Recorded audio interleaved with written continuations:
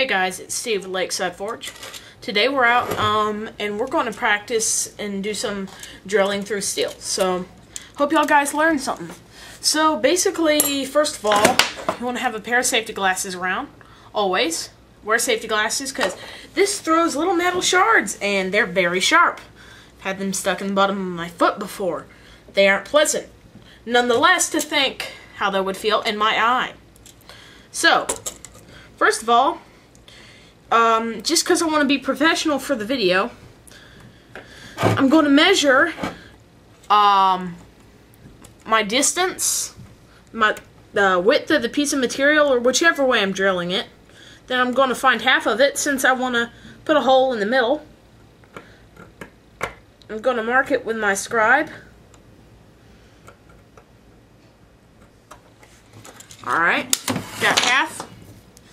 Then get my center punch, put it where I want on my scribe, scribe line. Sorry for that jolt. I have a nice little mark. So, now time to head over to the drill press. So, just rotate you a little bit here.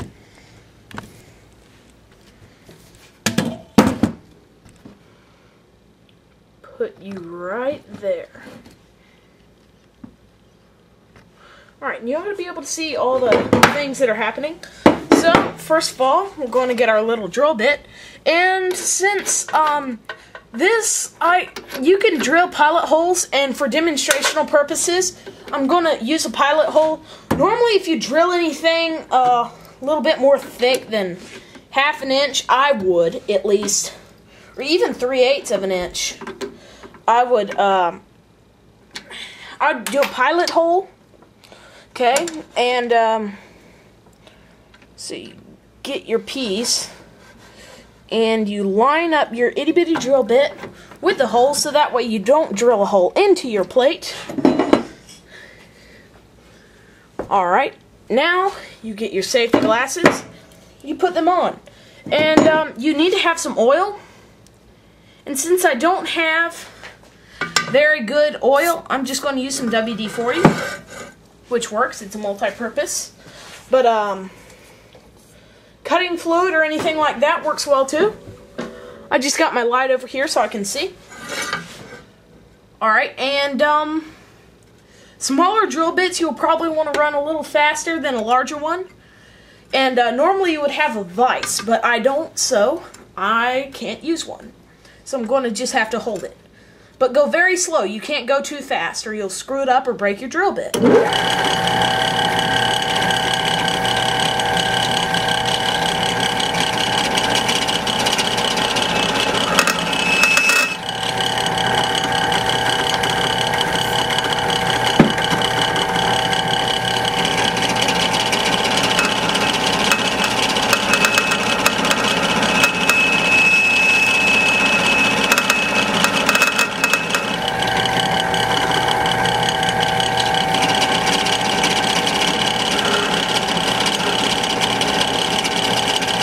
You want to press it till you see these little, um, little swirly things coming out.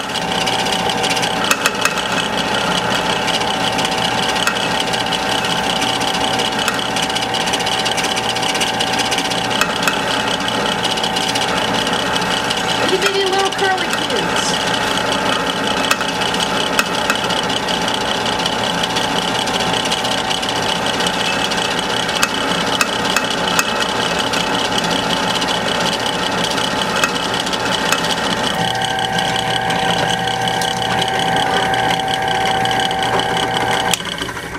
As you can see, I'm through that piece of steel, and I'll come over here. Let me grab a rag real quick. Wipe all this metal crap off. So you can see, I got a pretty little pilot hole. You can see that fairly well.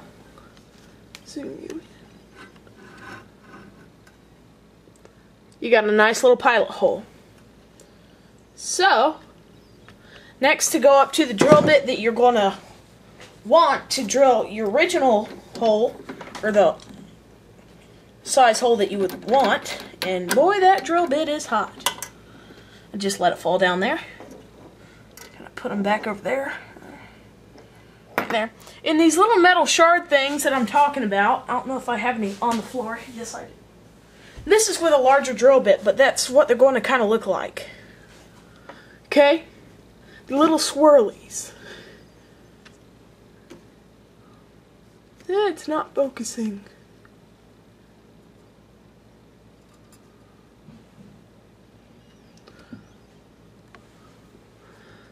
There you go. You see that? Little swirlies.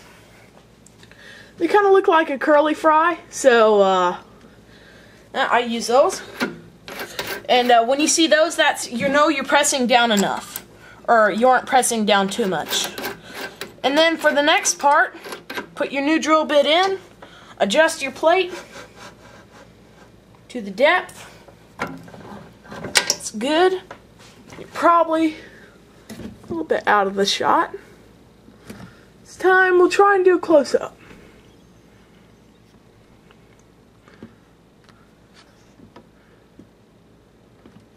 Right about like that. You ought to be able to see it really well. So, oil it up. Probably won't have to oil it as much this time. Make sure you line it up.